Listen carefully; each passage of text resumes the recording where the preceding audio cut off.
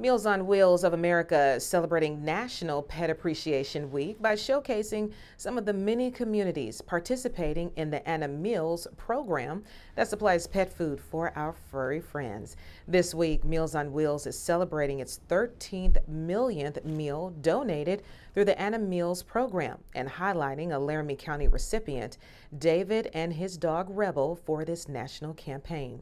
Rihanna Brand at Meals on Wheels of Cheyenne tells us more about this program.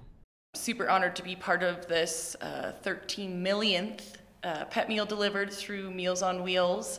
It is actually Meals on Wheels of America's first time in Wyoming, uh, so we're super honored to be a part of that. We've delivered over 75,000 uh, pet meals uh, since we started uh, a little over a year ago.